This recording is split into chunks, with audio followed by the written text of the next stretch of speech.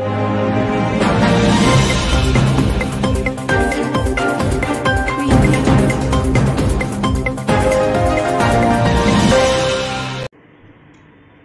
दोस्तों, मैं लक्ष्मीकांत शर्मा।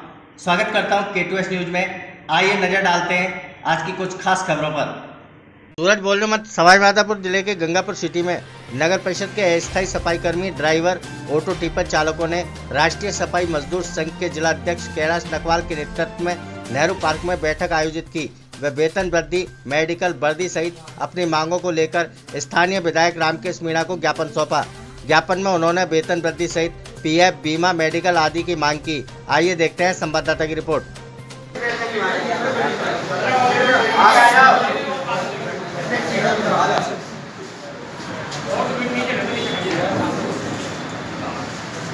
हाँ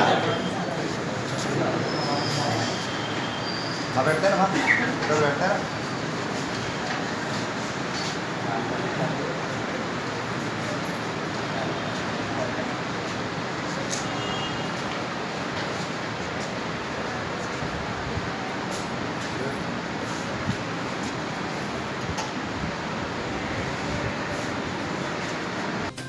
गंगापुर सिटी के कॉलेज रोड सैनिक नगर पर बारिश में बैठे गौवंश को। स्थानीय निवासी सुनील डीजे की गाड़ी ने गौवंश को मारी ज़बरदस्त टक्कर, जिससे गौवंश मौके पर ही मर गए।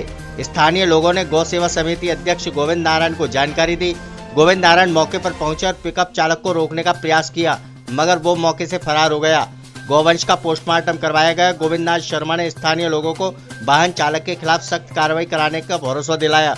साथ ही गोवंश को जेसीबी की मदद से गड्ढा खोदकर अंतिम विदाई दी। आइए देखते हैं संवाददाता की रिपोर्ट।